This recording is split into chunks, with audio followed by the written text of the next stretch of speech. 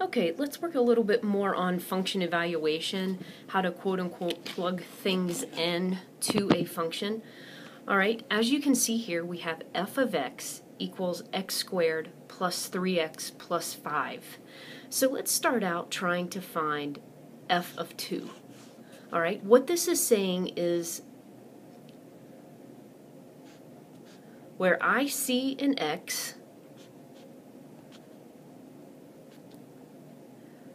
I'm substituting a 2. Okay, so everywhere I see an x, I'm going to put a 2.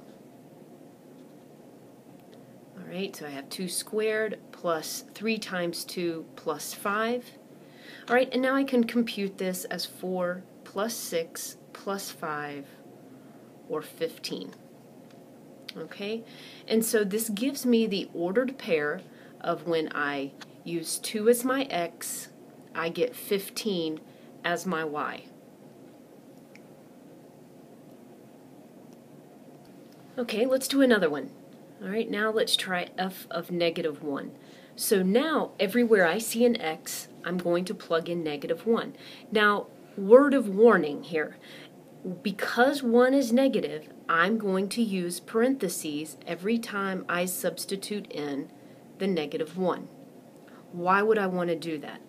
Note that right here on this term, I need to be careful to make sure I'm squaring negative 1. In other words, I need to make sure I do negative 1 times negative 1 to get 1 and not accidentally continue to carry on a negative 1.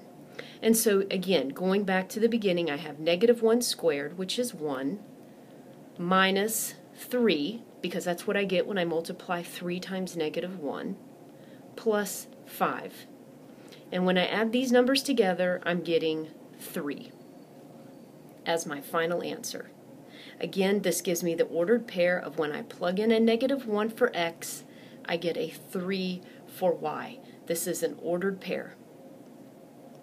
Lastly, let's do a symbolic evaluation. Symbolic means a variable with a number. So here I have f of x plus 2. So everywhere I see an x, I'm going to substitute x plus 2 in parentheses instead.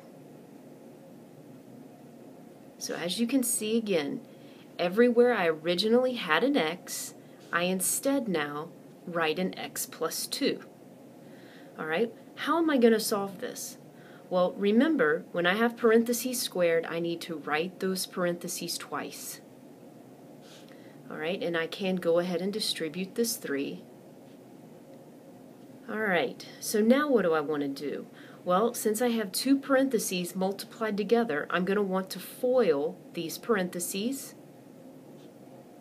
All right, so I get plus 2x plus 2x plus 4.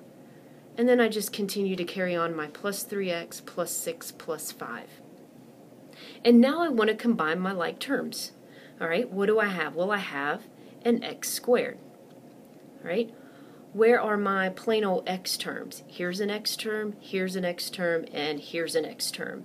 So I have 2x plus 2x plus 3x gives me plus 7x. And then, let me get a different color here. All right.